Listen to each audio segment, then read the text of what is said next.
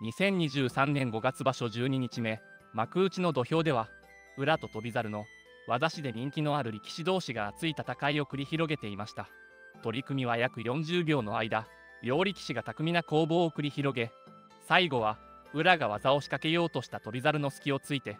自らの体を反りながらずぶねりこの珍種で敗れた翔猿は土俵上で思わず笑みを浮かべたのです。この一番を見た観客からは大歓声が起きており SNS でも。面白い取り組みをありがと両者に拍手を与えたくなる最高の相撲だった。と両力士を称える書き込みであふれていました。しかしこの2人の技師が相撲ファンを魅了した攻防を繰り広げることができた背景には過去に相撲教習所で両力士が交わした誓いがありました。そこで今回の動画では過去に交わした誓いの内容や両力士のこれまでの軌跡を紹介し彼らの今後の展望について考察させていただきます。出会いと誓い。裏と翔猿が誓いを交わすきっかけになったのは高校時代が大きく関わっています。翔猿は当時高校相撲の名門校である埼玉栄の相撲部に所属し2年生の時に全国高等学校総合体育大会で埼玉栄の団体優勝に貢献するなど数々の活躍を見せていました。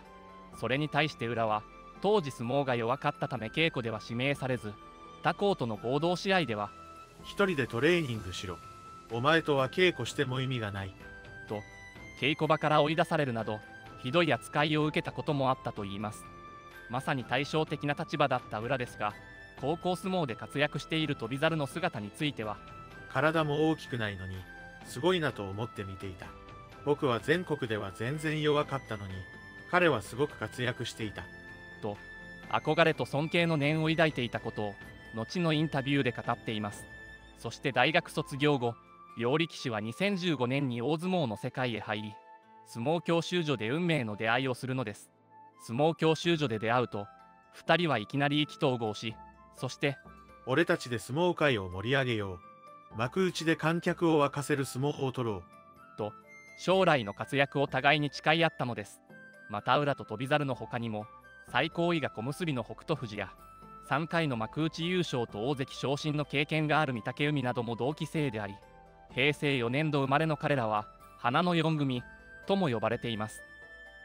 栄光特難そして復活。浦が大相撲の世界に足を踏み入れたのは2015年3月場所のことでした。初土俵から新入幕までに所要12場所と異例のスピード出世でもありましたさらに2017年7月場所9日目第70代横綱春馬富士との取り組みでは立ち合いでぶつかった直後一瞬の隙を見抜いて春馬富士の腕へしがみつきとったり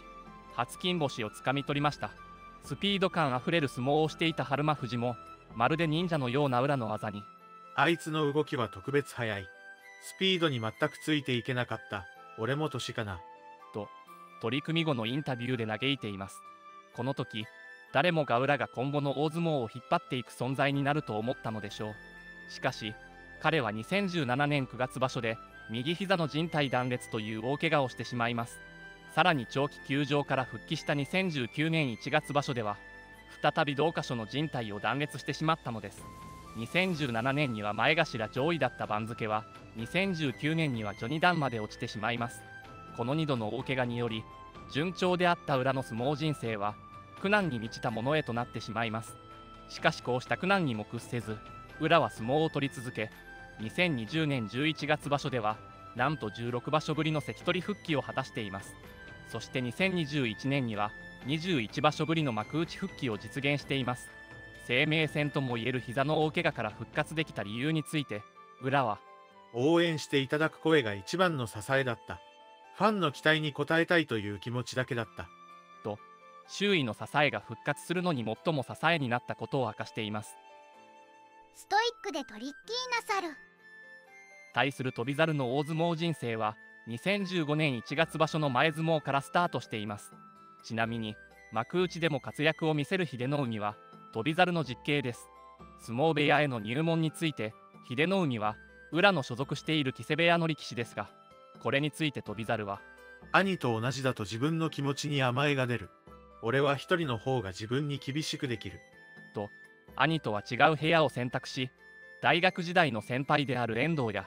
幼なじみの剣翔が所属している追手風部屋へ入門を決めています追手風部屋には幕内優勝経験のある大栄翔も所属しており